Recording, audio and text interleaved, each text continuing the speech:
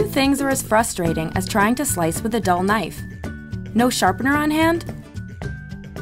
Turn a coffee mug upside down and sharpen the blade using the ceramic edge of the mug like a sharpening stone.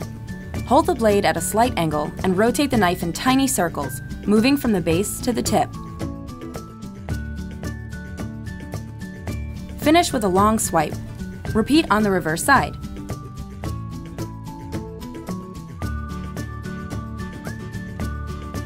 Okay, time for a BLT.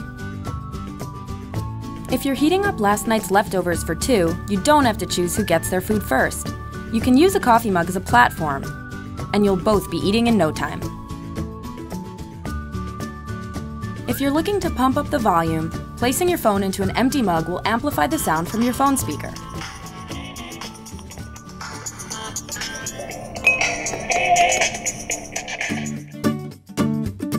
Bet you didn't know you could poach an egg in the microwave.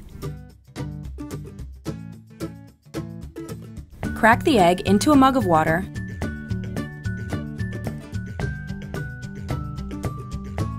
and watch the magic happen in just one to two minutes.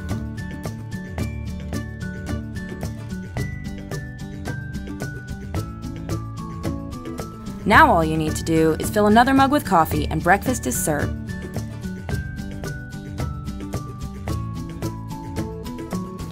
Whether your oven is broken or you're just craving a quick treat, coffee mug brownies are simple and surprisingly delicious.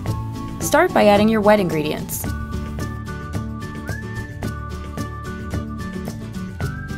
And a pinch of salt, and whisk well. Next, add your dry ingredients, whisking well in between each one.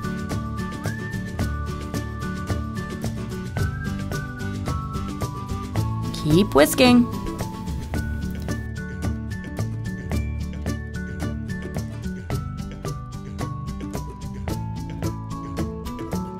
Pop it in the microwave for about a minute and top with ice cream.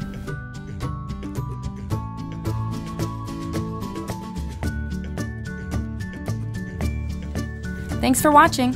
Subscribe to our channel for more and tell us your favorite hacks in the comments below. They just might appear in an upcoming Howdini video.